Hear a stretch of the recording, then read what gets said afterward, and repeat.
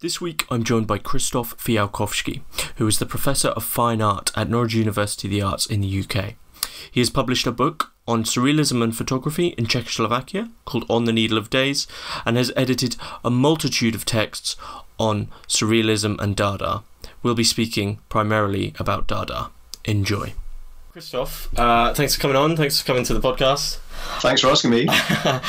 um, so this is the first the first time where I kind of thought these three thinkers aren't going to be ones that I'm too familiar with, and I was completely right. One of them I was familiar with. Um, so you can place three thinkers thinkers into a room, living or dead, and listen in on the conversation. Uh, who do you pick? I gotta say, I've uh, I've hesitated over this for a really long time and and come up with I don't know how many combinations. I got I got three people who I mean the idea of a thinker is an interesting one, and obviously you know kind of don't get me started on this, but uh, I've kind of steered clear of of kind of professional philosophers really, and uh, I liked on the other hand the idea of knowledge. And that knowledge might be kind of expansive and divergent and, and, and kind of messy. Um, Okay, so my first guest was was kind of uh, was always coming, and that's uh, Walter Benjamin, who I guess in many ways is, is, is kind of my hero as a as a as a writer, as uh, as somebody who has ideas, uh, who's somebody who's kind of not afraid to be to be kind of wrong sometimes, and not afraid to to think with his heart as well as with his head. I think. So yeah, Walter Benjamin, and and, and somebody who's who's who's interested in everything. You know, that's that's that's kind of what I what I like about him. And uh, my next on the list is somebody that whose work, to be fair, I don't know terribly well either. It's Athanasius Kircher. I'm not even sure that I'm pronouncing that right. so he's a 17th century Jesuit scholar um, with the most kind of diverse and erudite list of specialisms and he was known as a kind of specialist in ancient Egypt and generally in, in kind of Middle Eastern studies. But he's also interested in all kinds of things to do with science, and he's a tremendous inventor. And some of his some of his ideas are, are, are frankly kind of mad or loopy.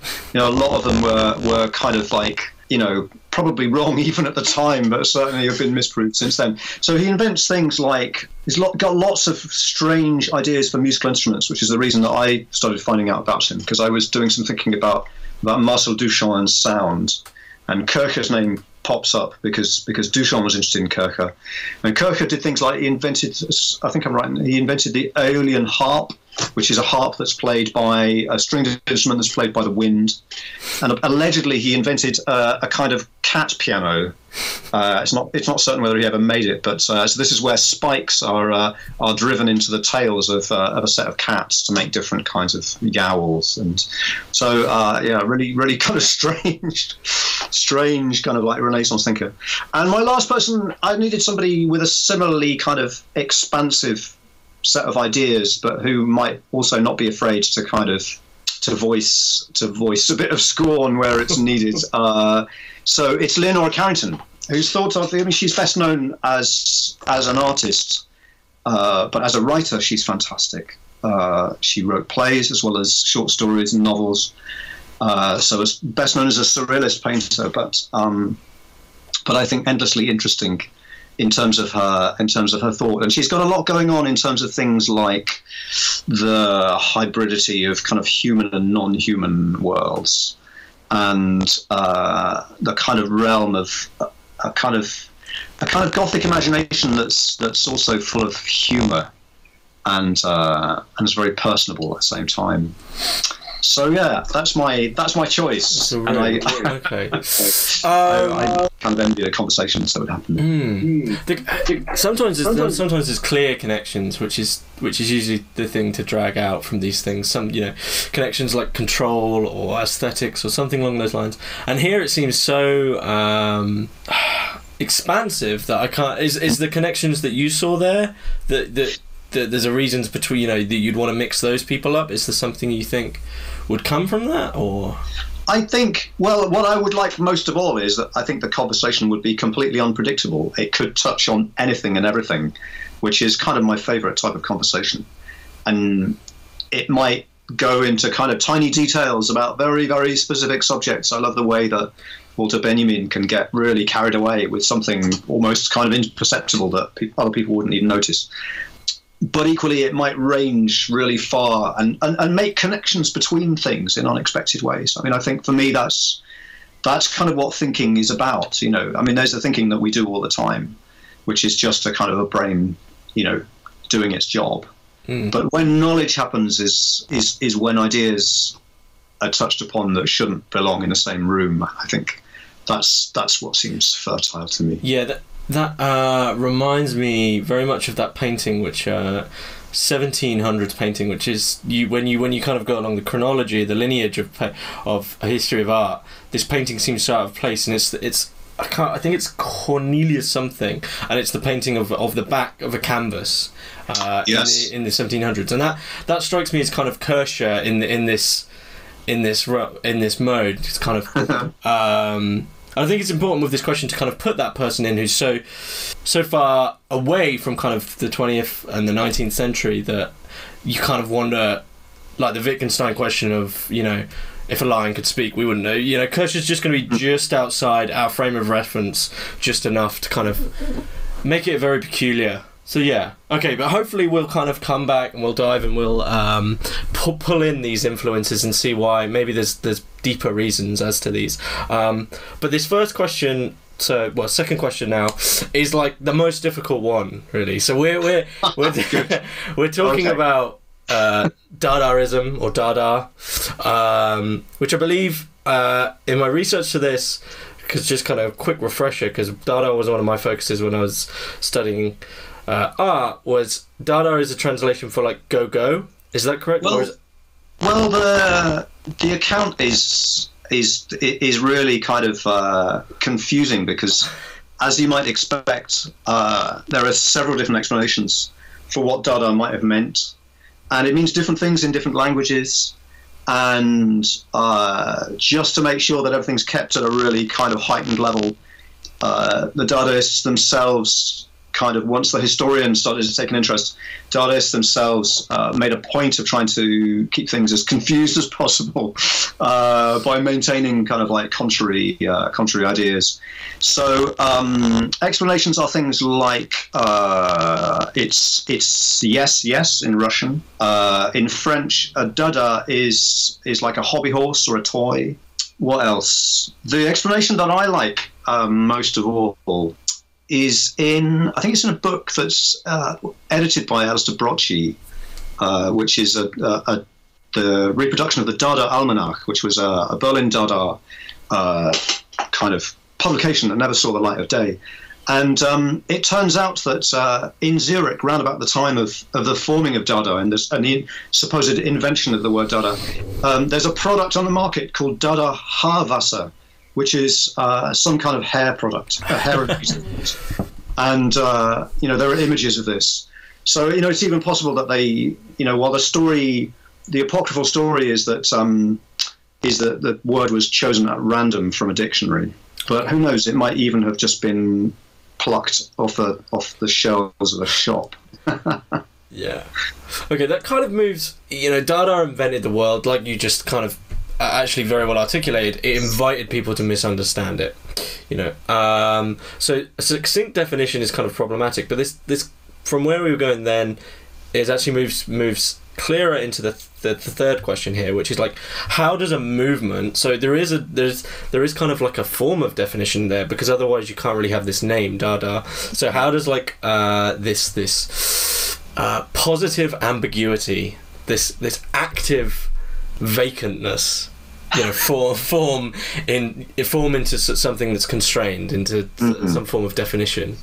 Well, it's hard to say how constrained it really is. I mean, I, you know, we're we're constantly going to come up with this problem of, of the impossibility of defining Dada, and that's, you know, that's partly because it's it's you know it's made to be elusive and to turn back on itself in the first place. But it's secondly, I think, because of its because of its particular kind of forms that it took historically.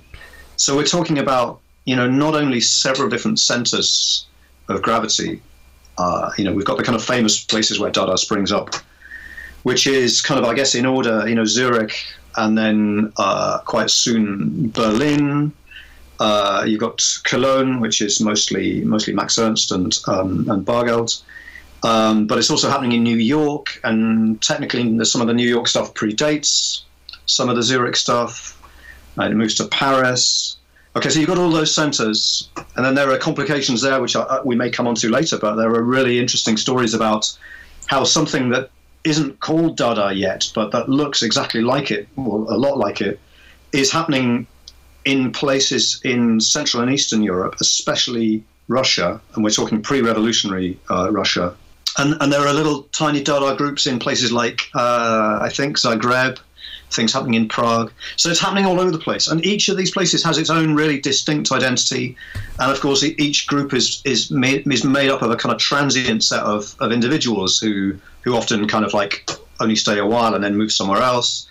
And in a way, there's this curious thing that as a movement, it's kind of, it can never be pinned down because it's, each each Dadaist seems to define Dada for him or herself, and uh, and take great pleasure in kind of um, counteracting other people's Dadas.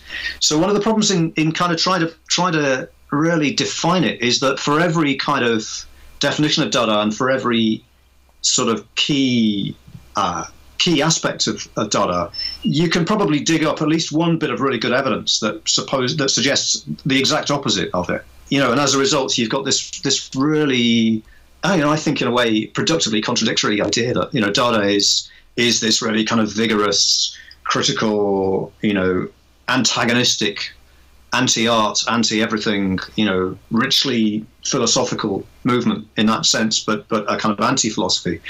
But equally, you can find examples of, of, of, individuals right from the very beginning. Hugo Ball is a really good example of somebody who's actually, you know, kind of is on, on his way to becoming kind of mystical and uh, you know and is, and is really open to to all kinds of um, what one might be tempted to say would be kind of quite positive readings of, of Dada. And Arp is another example of that.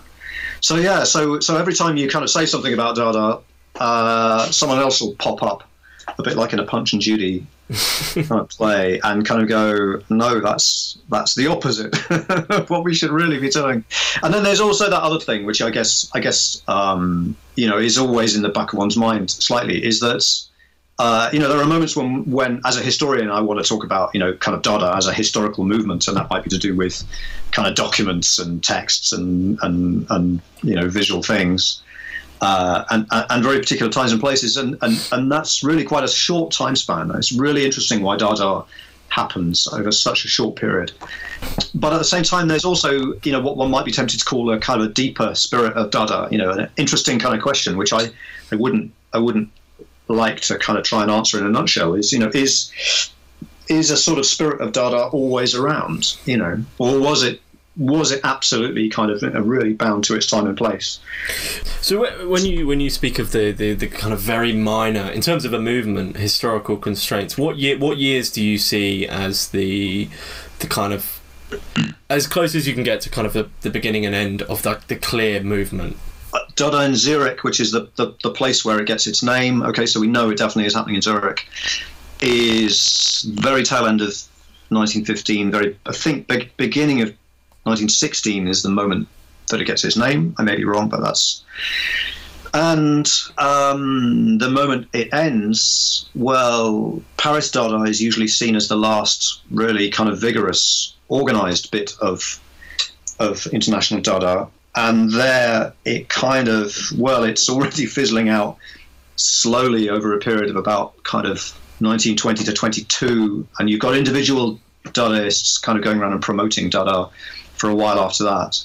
But the complicating factor and this is what's really interesting is things like like this the fact that, that that something that isn't called Dada because they haven't got that name but but you know something that looks very very much like it is happening in places like Russia before that date, and certainly what grows into being called New York Dada, that is really, you know, clear elements of that are starting in 1915. So all of that is, is, is pushing you. The fact that it happens, it springs up so quickly in, in lots of places, kind of pushes me to, to think, think thinking that actually it's not a moment of kind of genius of, you know, so, you know, the stars aligning and something amazing happening, but actually that sort of Dada had to happen. Hmm. In that sense, it's a bit like I always love this this thing about the invention of photography. which is usually placed at, at, at kind of 1839 or thereabouts, and, and and the kind of the popular kind of images of you know some some genius inventor having this brainwave, but actually when you look at it, uh, kind of historians have dug around and discovered that you know maybe about a dozen people were ready to discover photography simultaneously mostly in, in really distant parts of the world, and a lot some of them didn't know about each other's research. And and in fact, most of the elements of photography were, had been around for a while. Some of them for a very long while. So the fact that all of these people in in, in several different locations around the world all come up with the idea of photography simultaneously, that just points to the fact that it had to happen.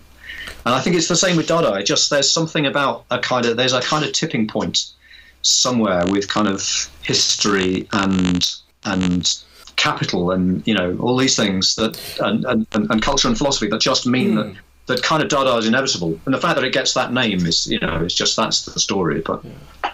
so if, if I was to try and put that succinctly, it seems like there's kind of um almost a cosmic synchronicity of nonsense, which due to like World War One sort mm. of hmm. sort of this you know like a, if you imagine it as a field of like petrol which has always been there, and everyone always, or you know, even you could go back to um, I'm awful with names of Greeks for pronunciation, but uh, Diogenes, you know, uh, the Cynics, even you could say in a way, inhabited some of the views in relation to authority and and structure. And you could say that World War, World War One seems to be this kind of moment. I mean, this is the cliche thing to always say about Dada is in relation to war um, that it was the kind of the reaction to uh, the chaos and inhumanity. Mm. Is, is is there truth in that, or is is that is that a means of kind of pushing it through the academic treadmill?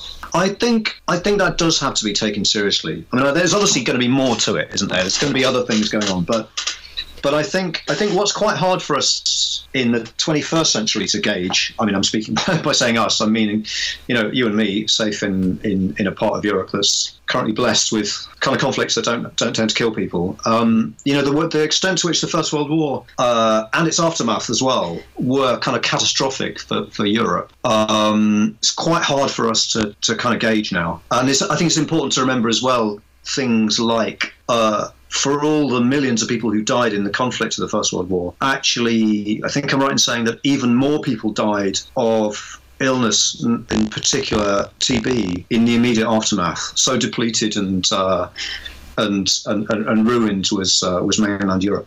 Um, so we're talking about about large portions of, uh, of, of territory, kind of like completely ruined. But above all, that sense that uh, you know huge numbers of, of, especially of young people had, had died, um, and pretty much every family in the whole of Europe was touched by that. Um, obviously, one might say that that's not so true in the North American context for New York Dada, but uh, I guess one of the things that you might point out is the sense that uh, two of the main kind of guiding spirits of, of New York Dada are, are Marcel Duchamp and, and Francis Picabia, both of whom are kind of effectively finding ways to avoid being uh, in Europe at that time, uh, and it's quite likely Picabia in particular. It's quite possible that uh, you know he that would that, you know he wouldn't have been in New York necessarily if it hadn't been for the war. So I think yeah, I mean it does seem a bit convenient, doesn't it? That that kind of thing that you know that, that Dada grows out of the demoralization and the and the and the kind of colossal abortion of the of the First World War, and that sense of demoralisation. I mean, it's you know, it's the violence, it's the it's the it's the collapse, it's the violence, uh, it, it, but it is also the that sense actually that I think you know a whole generation seem to have shared, which was that actually what the First World War did maybe in almost a useful way was was expose the whole of of kind of European society and its and its kind of aspirations as, as being just totally bankrupt. Uh, so I think that sense that the war is a sort of catalyst and a the war just strips away all of those kind of um, those pretensions, uh, and arguably doesn't do that for very long. But but I think I think Dada does grow out of that. You know, insofar as it's possible for us to really kind of put ourselves in the mindset of of, of people hundred years ago. I mean, it's it's difficult for us to gauge now because you know you rely on not just not just kind of you know text and documents, but but a kind of a sense of connection with it. And I think one of the, the things that I, I feel is a bit weird in in my lifetime is is actually going through an era where there are now no longer people around who, who experienced the First World War. And I guess it won't be too long before there are fewer and fewer people around who, who experience the Second World War either. So, Mm. yeah. Okay. So from that, you, you commented there on that it the from this demoralization, kind of Dada kind of almost.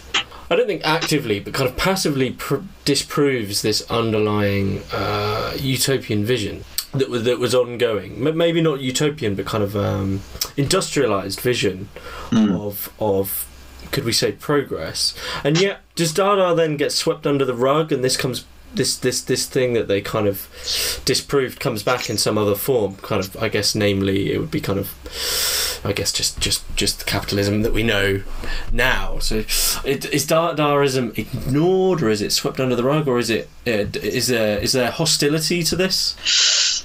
Yeah, that's that's interesting. I mean, it's we're used to this idea that uh, that capitalist culture recuperates everything. You know, if you think about, you know, how long does it take to go from, you know, the kind of uh, the Sex Pistols spawning outrage to uh, to kind of ripped jeans in, in Miss Selfridge or something. You know, it's a matter of you know, it's a matter of a couple of seasons.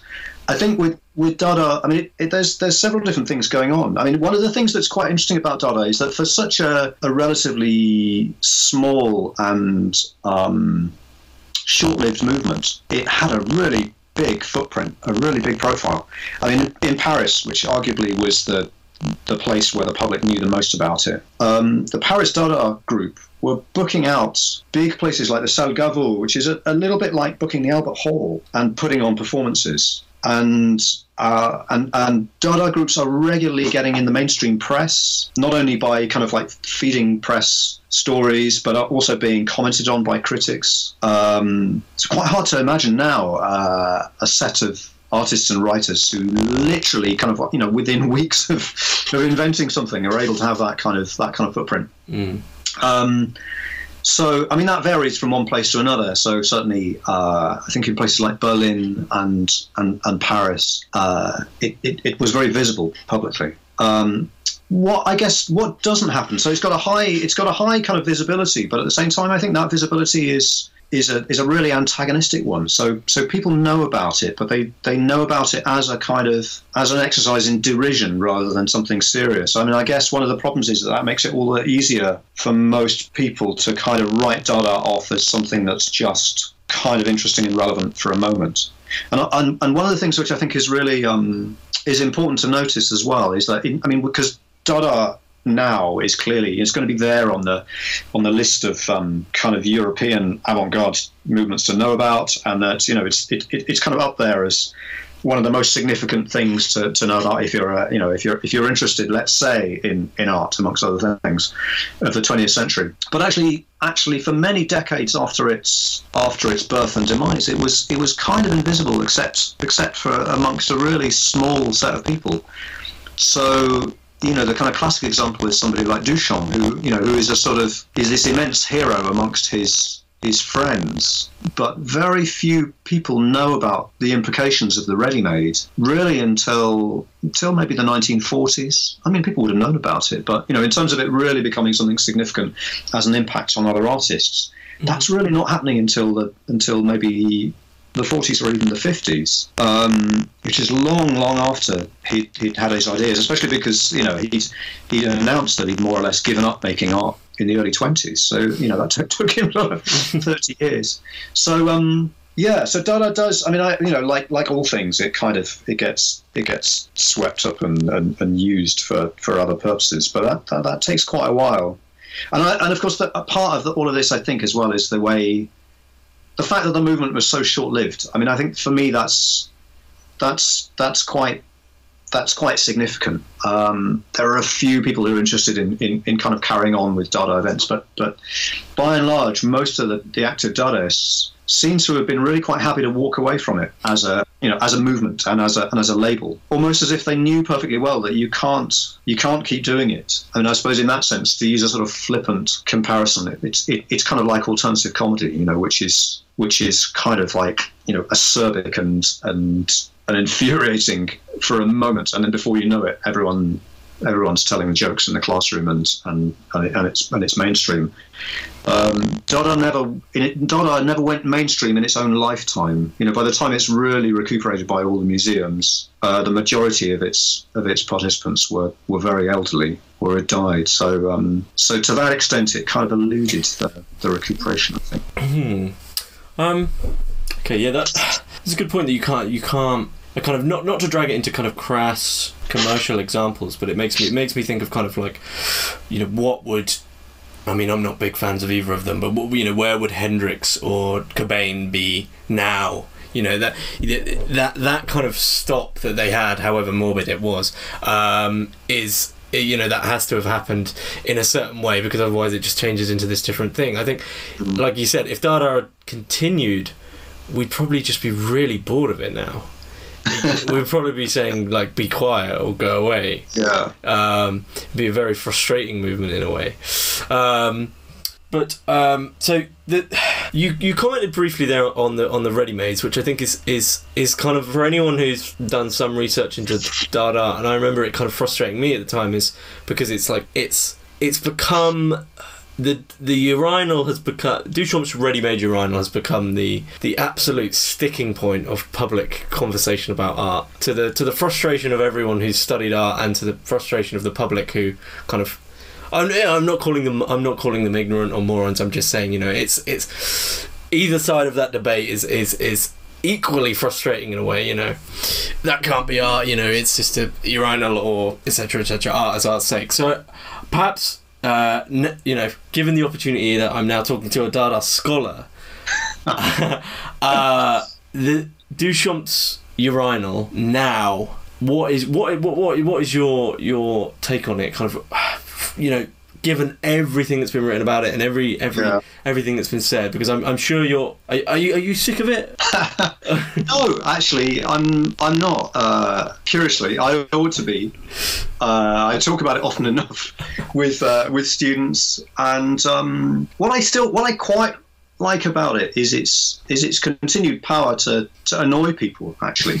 Um, and it's interesting because you're absolutely right. It's it's it's this kind of definitive this definitive moment uh, you know this kind of founding founding moment um, that, that, that kind of changes that kind of changes everything. I mean okay uh, you'd want to argue a little bit with that because because Duchamp made a couple of ready-mades earlier than that but but you know Fountain is the one that everybody goes to and I think maybe about ten years ago or so, there was there was a big there was one of these silly uh, kind of questionnaires to to hundred leading you know curators and uh, scholars and whatnot. You know, what's the most important artwork um, of the 20th century? And I think Fountain came up, you know, kind of resoundingly on top. But it's still a work that I think would really divide people. Um, I think even quite a lot of museum and gallery goers who see themselves as kind of like you know informed and enlightened are still really, really irritated by it. Um, I like, I mean, for me, the thing, because obviously one of the problems with it is the way that the ready made unleashes this huge kind of, it kind of gives permission for this, for this, for this huge trend and, and that's, that's sometimes, you know, worryingly lazy about just, okay, so I can just pick an object. And as long as I pick an object that nobody else has picked before, you know, I can just nominate that and that will go in the gallery and then that's an artwork and quite clever. Uh, you know, and sometimes that works really well, and other times it's just kind of like, oh, okay. Um, I mean, for me, what I always really notice is is Duchamp's kind of, firstly, his kind of nonchalance about about a lot of the ready-mades. Admittedly, late in his life, he kind of started he started beginning to kind of like capitalize a little bit on it, and he he kind of authorized limited editions and uh, you know so they, they started getting kind of getting kind of monetized um, but but early on, I mean, the original of, of, Fountain, which famously is kind of submitted to this uh, independent art exhibition in New York in 1917, um, and in principle, everybody who submits a work is going to be is going to be exhibited because it's, it's, there's no jury. Uh, but Duchamp himself is on the kind of the organising committee, but he hasn't owned up to the fact that he's that, that he's the, the, the maker of this work, and the and the committee rejects it, and then the fountain itself gets gets lost, and he doesn't seem to be bothered about that at all. I've never I've never heard any reference to the the fact that you know that this work just sort of seems to disappear. So he clearly he didn't you know he didn't as an object he didn't set any great store by it. Uh, it was it was a gesture. It was an idea. And my my feeling is always that I think I think Duchamp's ready-mades they they're about they're not really about provoking the public, although they do that they did that really well. I think they're about kind of testing the boundaries of where you know what's that boundary between between art and not art? Seems to me that that's the really that's that's the really interesting thing about the ready-made. It's like he's he's chucking stones kind of from the beach into the water and kind of figuring out how can I how far can I throw a stone so that it's only just in the water and not on the beach anymore. And he's and he's he's not trying to make the most outrageous, the most extreme gesture. He's trying to do something which is just the wrong side. And and and it's by kind of figuring out it's it's almost like by answering the question what is not art, then we might be in a position to say what what art is. I mean increasingly you get the feeling that actually that's no longer a very interesting question. I mean I think, you hmm. know, in 1917 it was probably a probably a very relevant question that not many people had asked. Uh, now we're kind of we're either sick of it or um, or we know it's not going to lead us anywhere very interesting. But um, yeah, so for me, I think though I see those I see those those ready-mades as, as questions rather than provocations, and they're kind of about they're kind of about testing testing the limits by by by kind of being sometimes by being wrong in a weird way. So as if he's willing himself to sort of do something really really clumsy and inarticulate. So as to better understand well what you know what would be what would be something really poetic? I don't know. Yeah i think i remember from from my studies of of duchamp himself that he he was i think he's he's a, an important artist where you know the theory of kind of to understand someone's work you need to you need to know at least a bit of their biography. And i think a lot of Duchamp's work for me didn't click until I'd looked into him because as soon as you realise, hang on, he was way more interested in playing chess, way more interested in just kind of being a hedonist, and um, this, you know, like, as as he said, he was completely kind of out of the frame. It was more of a group of friends to him, um, and that completely threw the whole thing on its head for me. Because before before then, I thought it was these very serious gestures, but like you said, it's it's it's this almost frustratingly relaxed attitude towards something which is just kind of enraged. Yeah. It's, it's kind of like he's whispering whispering something into the crowd, which gets them into a fury, and then just kind of walking away, yeah. whistling, you know, to go. I don't know.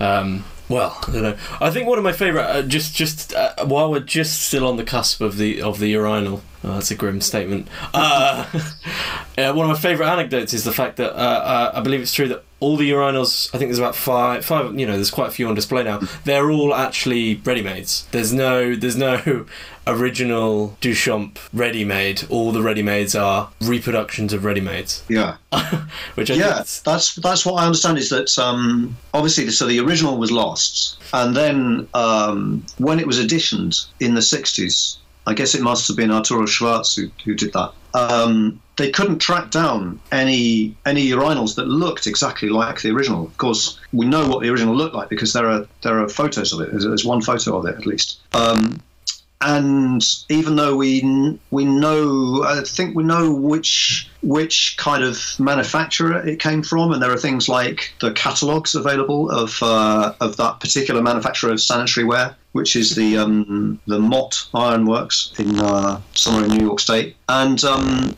yeah, so they couldn't track down any that were were identical, which seems which seems incredible. I mean, it helps. To, it adds to the kind of myth. So I think I'm right in saying that um, yeah, they had to be they had to be recreated. I can't remember the exact story. It's going to be there in the in the voluminous literature. That's one of the things which I think is a is a kind of is a kind of baffling bother for for, for Duchamp kind of studies as well is the fact that it's it, it's produced this kind of monumental library of erudition and uh, and that, that, that's kind of very off-putting. And Duchamp no doubt would have been kind of wryly amused by that but probably slightly slightly put off. And I like I like your idea that that actually you're suggesting that, that, that you know what he's doing is he's kind of talking to his friends. I think that's that's interesting as well. I mean uh, there's there's that sense you're right that when when those things are happening these ideas are being addressed to a very small group of people, and they're they're all people that he's met. I don't think he's really thinking about posterity particularly. And for that reason, I, I also think he's. I'm, I'm, I'm not convinced that he's trying to kind of insult the public because I'm not sure if he cares about the idea of the public yeah. very much. Almost like I think it's the public's choice to get annoyed, not not his. You know. Yeah.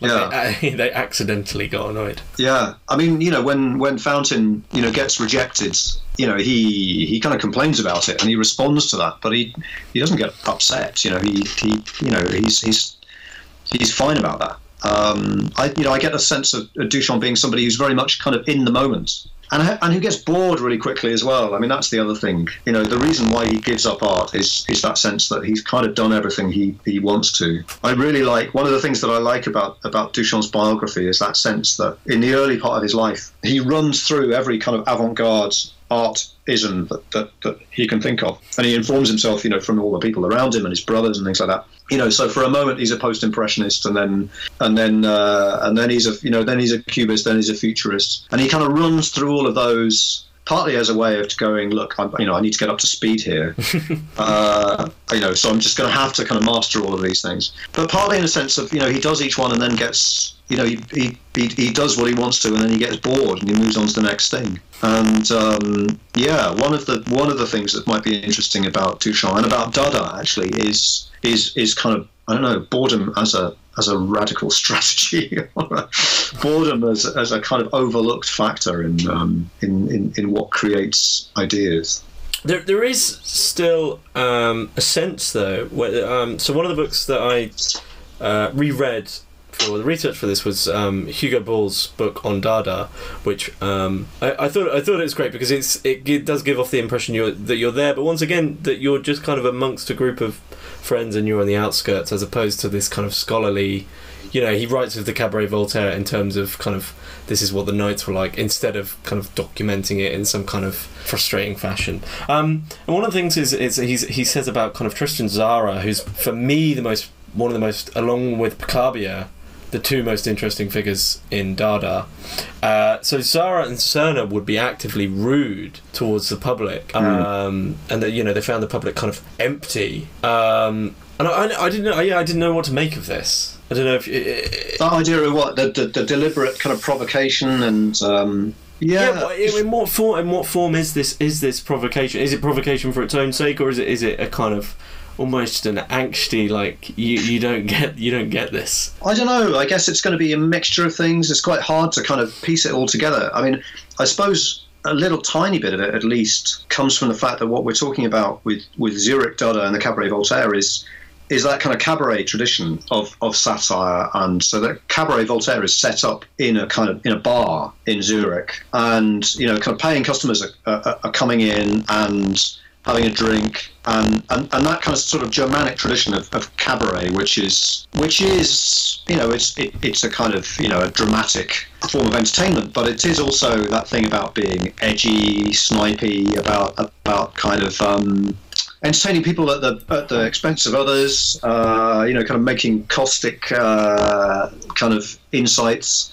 So I think there's something in the cabaret tradition which is you know which is already. Um, a kind of heightened thing that's that, that's likely to be uh, kind of interested in, in, in provoking the public a little bit. I guess part of it is actually, at least for some of them, is a kind of youthful. You know, adolescent wouldn't be the right word because that's a you know the teenage thing is something that, that we, we associate with a long time afterwards. But you know, there's you know most of the people involved in in Zurich Dada are very young and uh, you know and, and and comfortable with the idea of of kind of you know, uh, dismissing their elders and betters. And I suppose they, um, they themselves, I mean, Ball himself kind of makes it clear that actually, in all kinds of ways, that the catastrophe of the First World War has has just kind of pulled the rug out from everything. You know, there's sort of there's no point being polite. Uh, all those values which supposedly held everybody together and made them made them look forward optimistically, all those things are, are, are gone. Uh, so what's the point in, in in kind of being nice? Actually, you know, what really matters at that particular moment is to is to shout not to reassure. Um, so I, I, guess it's a it's kind of a mixture of those things. I mean, the other thing, which of course they they discover really well, and I'm sure, of course, you know, other people would have known all about this for maybe forever, but but um, being provocative is a is a brilliant way of getting the attention of your audience. And you imagine in somewhere like the Cabaret Voltaire, you know, there would be nothing worse than having everybody just sort of sitting and, and, and, and chatting and, and, and, drinking their beer while you're trying to do something. And no doubt there would have been some of that anyway, because I think in, in the Cabaret Voltaire, there are, there are sort of some elements of it which are much less provocative. There are kind of people playing the piano and doing songs and things like this.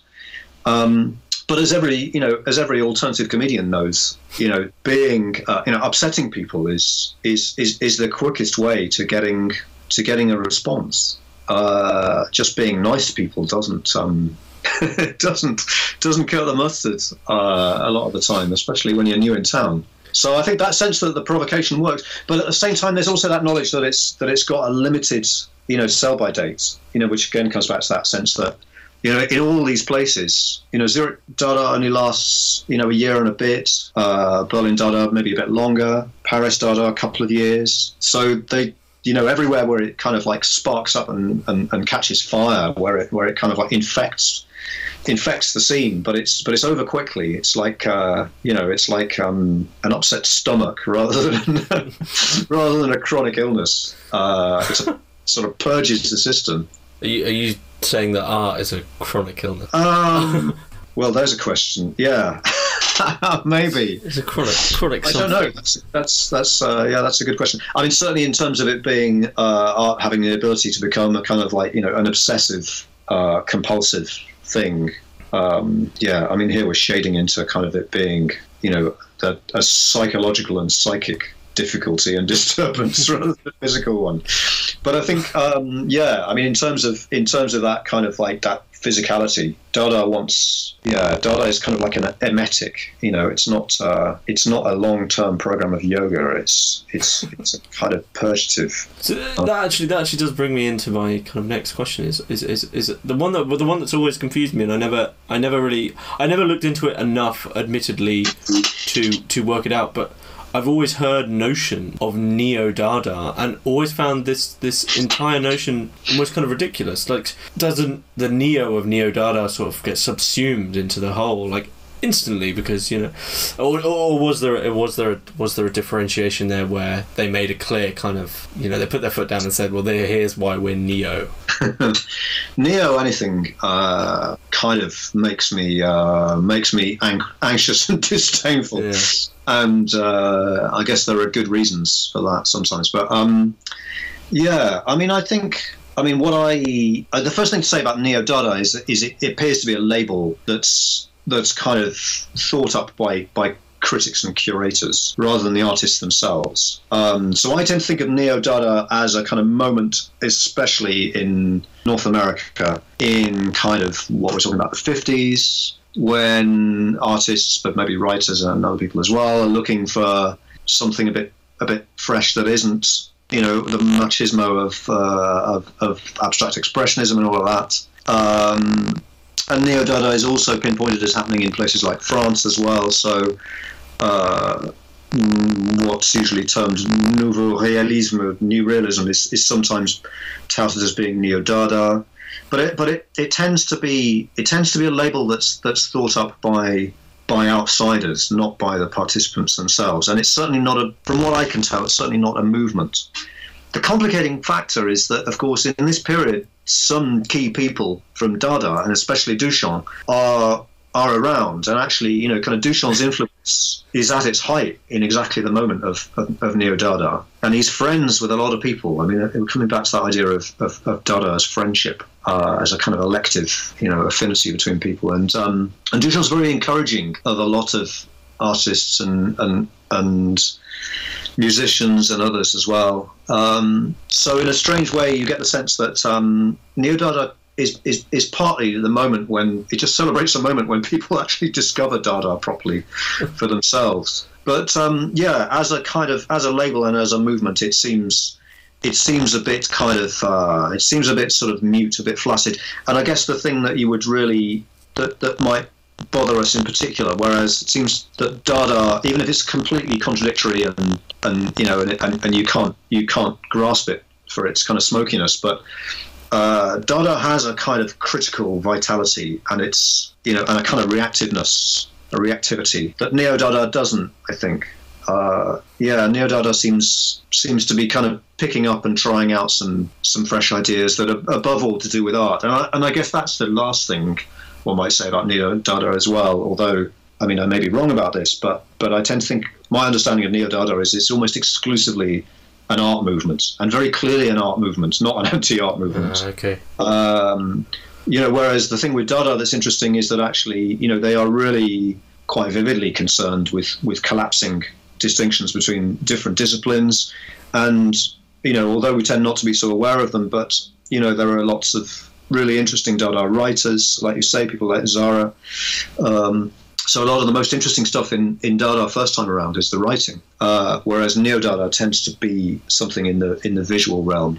Um, the one thing, I mean, I'm not, I'm not enough, uh, I'm not enough of an expert, but I, I, am kind of aware of things like Russian absurdist literature, you know, which I kind of dipped into. Uh, I've read some magazines by Daniel Kharms. Oh, Daniel Kharms, genius. Uh, you know, that might be a good, a good, a good way of saying, look, actually, Dada, you know, without the name, without the label and the Tartan stuff, you know, that, that kind of Dada spirit in moments when it's really needed then you might, you know, I'd, I'd, be interested in an argument for saying that actually every every era needs its own little bit of Dada. You know, there are goodness knows there are things to be kind of angry and vigorous about. You know, and, and that's when that's when a bit of Dada actually would be really helpful. Yeah.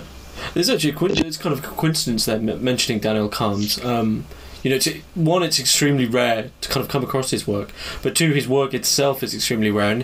And from from the brief, the the small amount that I know about Kharms' life. He was much the same as Duchamp. I don't think he was particularly connected to, or, or uh, you know, he didn't really care about his writing too much. It seems that the one major collection of his work is sort of kind of was a bit of a struggle to kind of find a lot of these writings. Yeah. And perhaps perhaps that's the thing that's needed is someone who can just you know uh, in destru- in destroying all your values, you also have to really let go of any attachment to, to, to even the work. And I'm, I'm thinking of um, the the artist who, who destroyed all his work in a kind of fury of just I think kind of like a breakdown where he just put all his work in a furnace. Yeah, Michael Landy. That uh, was that the one where he documented it all and took it all. Yes, that's the yeah. Michael Landy. That was breakdown where he. Uh, yeah.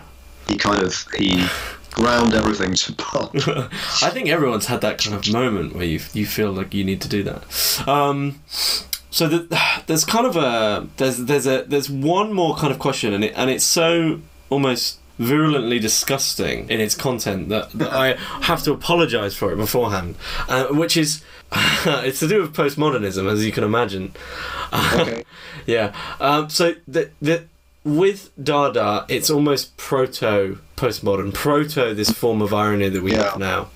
Um, and I think there'd be a, an easy mistake to be made there in in muddling the two. But in, in saying in asking you how do we differentiate the two, the problem there is the, the, the horrendous question of well how do we define postmodernism, which is the, the just the the single worst question ever ever devised.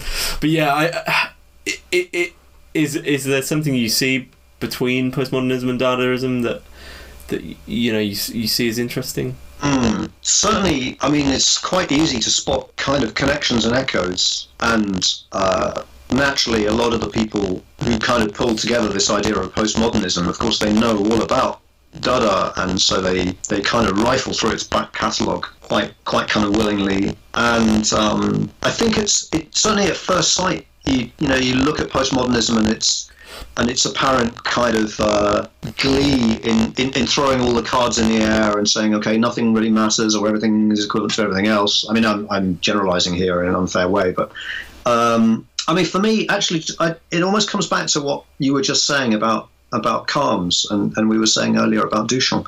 What I like in in those two bodies of work is a kind of savage nonchalance. I love the way that Kharms, whose whose stories are always really short anyway, and a lot of them, it's almost like he just abandons them because he's so sick of them. Yeah. So, so there'll be there'll be something random happening, and then a whole bunch of people will fall out of a window, and then several of the stories just end with, and I just can't be bothered to tell you what the rest of the story is. and, and, it's almost like he just he then just puts his pen down and goes out and does something else. And there's, so there's that, that kind of there's that kind of yeah that, that, that sort of strange mixture of, of, of nonchalance and and, uh, and and hysteria about that.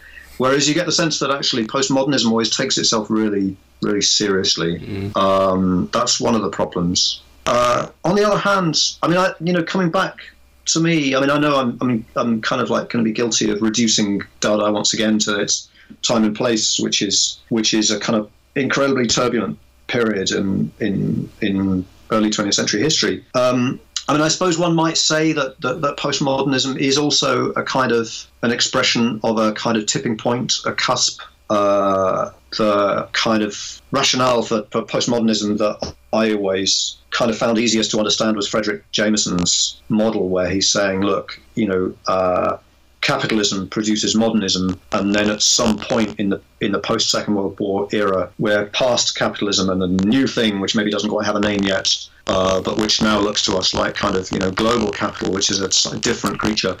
You know, it's a new form of of, of capital, uh, and so that's going to produce a new culture, and we're going to call that postmodernism.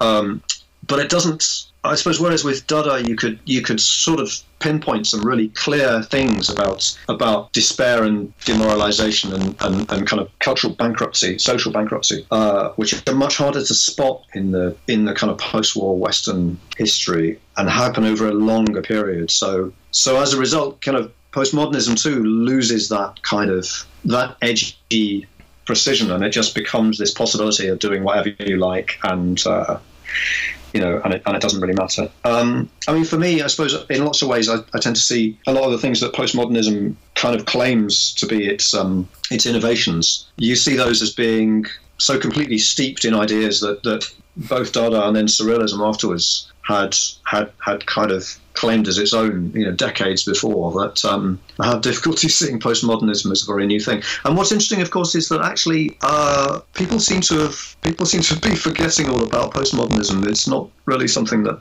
that, that students are all that bothered about. Or uh, yeah, I mean, you would have imagined if uh, if modernism managed to last, let's say, you know, a better part of a century. How long did postmodernism last as a kind of vigorous uh, as a vigorous idea? What period are we in now? Is it still postmodernism? I don't know. yeah. Well, I, I, think that's what we were saying about neo, neo and post. I think that they're always reluctant to admit they they they they te- they've literally got the tether in the word there, and they, they, they, you know, postmodernism can never be never be without modernism. You know, it's not it's not a possibility. Um, so is it also is it also to do with the kind of the social structure? I mean, again, I mean, it may be obvious, and it may be that what we're saying is we're we can't possibly compare like with like, but you know, whereas Dada is definitely a movement. You know, you've got people who who claim to be Dadaists and who hang out together and who quarrel and fight and you know and, and, and fall out and it all goes badly wrong but you know there are clear moments when they want to do things kind of with each other so it's a it's a social mm. and in a sense kind of convivial but um, but vivid moment that's that's about that's about a collective action um, postmodernism in contrast is, is is is not like that at all it's uh, it's it's a construct by academics so within the, institutions, the, largely within institutions. Yeah, yeah. And some of those academics are doing quite interesting work. Uh, others maybe less so, uh, but they are part of they are part of a dominant mainstream conversation. And although I'm sure you know they all know each other and probably you know they you know you, would you, find people you know no doubt you know Lyotard and Baudrillard might go down the down the pub together and have a drink, but these are not these are not kind of movements in the sense that, that Dada was was a kind of a social uh, and, and, yeah. and, collective endeavor. And for me, you know, that's what that's one of the things which I think um, makes modernism still interesting for me as a as a model uh, is the fact that that those those modernists avant-gardes. I mean, I got a problem with the idea of Dada being an avant-garde, but that's another story. But but uh, what's interesting about about those is that they you know they wanted to do things as as groups, um, and that collective endeavor, which is you know absolutely central to surrealism as well, is what is what makes those those movements so completely distinct from most of the other labels, which, as we were saying with things like Neo Dada, most of those other labels are created from the outside, not from within. Um, and the same with, with postmodernism. So I suppose that might just be a really, really long-winded way of saying that actually, you know, it's like comparing uh, a tree to a paperclip. You know, it's uh, they're, not, they're just not the same order of things at all. Dadaists didn't didn't need to kind of say they were Dadaists. They just they were just doing their things in that community. Whereas postmodernists and, and perhaps a few other movements as well. Um, I think ab- abstract expressionism is definitely one of these. They made it very clear that they were, you know, they, they held their hand up and kind of, or at least if someone said they were that, they were very quick to kind of say, yeah, yeah, yeah, I align myself with that. Um, so we're getting to the, the, the, the hour mark here, and I'm wondering if there's any because because with Dada it seems there's, there's always these little hidden hidden little kind of pathways where you you you suddenly open a page or a chapter of a book and you realize this whole little thing going on that you never never realized. So I was wondering if if there's um, any kind of routes that that you'd, you'd you'd like to go down, which we haven't really kind of touched on yet. Well, uh, that's a good question. Um, I must say, I, one thing I love is is kind of spotting those little moments when when Dada kind of erupts in, in, in places where it shouldn't. Uh, you know, a bit a bit like a kind of boil or something. Um, uh, you know, of which one of my favourite remains uh, a, a, truly truly uh, bizarre um, little clip of TV footage, which you can still find on on YouTube, um, which is Marie Osmond, so the sister of the Osmonds. Right. Uh, maybe some maybe some listeners will have no idea who the Osmonds uh, are or were, but we're talking about um, kind of uh, boy band superstars from the early 70s. So Marie Osmond, uh, who was a singer as well, and she made she made TV programs for Ripley's Believe It or Not, and in one episode of this, she she recites uh, Hugo Ball's Karawane. Which is just a kind of a beautiful moment of kind of like chaos and popular culture coming. together. So I love that. Um, as somebody who kind of uh, was a teenager in the 70s and you know just missed punk by 10 minutes but uh, but nevertheless you know I continue to really like um, that kind of connection between between Dada and and punk you know which may be just which may be just a kind of fleeting coincidence but it's but it's woven together rather beautifully by that book by Greil Marcus called Lipstick Traces, which I, I, still think is a really sort of exemplary piece of, of you know, uh, you know, it's, it's it's part scholarship, part just kind of riffing on an idea, and with kind of ridiculous but but kind of really effective connections. Um, yeah, and that and that kind of idea that you know there are there are there are kind of moments of, of Dada waiting to come out in everybody, you know, and there might be moments when when things are angry and funny at the same time. Um, you know, the name is just a label, but uh, you know, the, the idea that the idea that, that, that one might do Dada things in one's life. I hadn't thought of this, but you know, I'm just trying to think what is the most what is the most Dada thing I've ever done in my life. Probably not nearly enough of them. Well, I think but, the, uh, the, two contemporary examples I, I love because you, you talk of this Osmond thing, which I'm definitely going to look, look up afterwards. Um, but there's a there's another brilliant one where Ed Harris, the actor in um, the conference for the movie A History of Violence, mm-hmm. and the whole this kind of very uh, business like suited up Hollywood press conference audience is, is you know they're discussing what is violence. And he kind of he he says he, he kind of can see through this gaze of absolute crap and lobs his glass behind him at the wall and then smashes his hand on the, the table and says like that's violence. And the whole thing they're like yeah we need to stop the conference. And it just kind of it's this this is extremely like visceral cut in reality where all of a sudden mm. just like the, the, the veil of mm. of culture of this this fakeness has just been burst and everyone's kind of left a little bit naked and another mm. example that you know of course is, is Andy Andy Kaufman who I always think is kind of an exemplary example of kind of you know uh, Dada in, in, in comedy mm. yeah a while back um, Vic Reeves did a did a a TV program about about Dada, and although that was a bit kind of maybe a bit cute, but there's kind of aspects of that. If it wasn't for the fact that Vic Reeves has now become like almost inevitably, you know, is now is now a kind of a beloved, you know, well on the way to being. Uh, to being a kind of national treasure, but um, but you know, moments of that of that absurdity, uh, in a way that that, that kind of um, smashes together, kind of like a sort of incipient violence and and, and ridiculous humour, and to the point where you you're kind of upset and and, and laughing and you don't know why. Uh, you know, just just somewhere, and of course, you know, maybe it's only the first time you see him that that, that works. Mm. Um, yeah, I mean that's the, the always the trick with Dada is that is is whatever it is, you've got to get in there and get out quick. so it's kind of by the time you realise it's Dada, it's no longer Dada.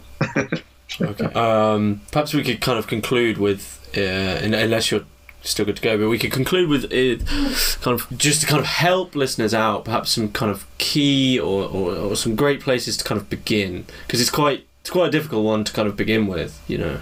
Uh, so, so maybe some texts or or you know resources where you you think you know that that, that was a mm. good good place to start. Mm. Well, uh, I mean, I was I was kind of brought up on on two founding texts, one of which is probably quite easy to get hold of, uh, um, and it's uh, it's that old um, and Hudson World of Art book um, by Hans Richter called Dada Art and Anti-Art and it's written a long time ago. I think it was written in the 60s. Um, you know, I kind of bought it as a, as a paperback book. You can probably still pick it up. It might even still be in print. And the great thing, you know, it's it's a history of Dada, and it's it's very partial, and you know, a lot of the a lot of the the, the kind of um, the legwork has been done by by historians much better. But the advantage is that Richter was there, you know, and he knew all these people. So so although he wrote it, you know decades afterwards. But you know, but but he had the benefit of being of being um, a participant. Um, the other thing which I think is really is really good, and it's a, it's a bit harder to get hold of, but it's a, it's a really good starting point. It's an anthology called The Dada Painters and Poets. Uh, it's edited by Robert Motherwell, the artist Robert Motherwell, and I think it came out in the 50s. And again, at this point, you know, Motherwell would have known people like uh, you know certainly he knew Duchamp very well. Um, and it's basically it's an anthology in translation of a lot of key Dada texts. So the manifestos, especially great stuff like Tzara's uh, manifestos, Picabia's manifestos. Um, so it's a big chunky book of text. There's there's images in there, but it's uh, it's fairly unsparing. Um, but it's a great place to be, begin because it's the you know it's the writings themselves. So that's kind of where I'd that's where I'd start uh, if you're if you're reading. There'll be those who would be tempted to um, to go for for kind of audio visual resources, and there I'm not quite sure. I don't know what's around there's going to be all sorts of all sorts of documentaries and things, I'm sure. But um, I don't know. There was yeah there've been there've been interesting documentaries about Dada, kind of going back to the seventies that maybe maybe are still around. So yeah, that's that's where I that's where I begin. Yeah. Um, cool. Okay. Uh, unless there's uh, anything anything else you'd like to add, uh, we can we can no. I think uh, one could uh, one could go on literally all night, but I think uh, I'm trying to think of something incredibly Dada to say. But it would probably be just. We can. We can actually. There was. I, I just sw- switch off my screen. no, there's a real. There's a there's a Dada question I've been meaning to ask you, which was something that you you commented on so briefly in a lecture once, um, and you never mentioned it again, which was you wanted to. Uh, push the industrial milking of squirrels. And then you left you left that comment. You said that we should milk squirrels. That it's an un it's an untapped source of of like nutrients. And then you continued on with the lecture. And i thought it was a brilliant moment. So i mean is this still is this still a, a dream? I think as long as it's uh, grey squirrels and not red ones, I wouldn't want to hurt any red squirrels. That's true. But that's the friendly uh, Hugo Ball kind of uh, coming out in me. If it was Tzara, he'd say, uh, milk them all. Milk them all. milk all the squirrels. Okay, I think that's a good place to end. Okay, thanks, thanks very much. So much. Thank you.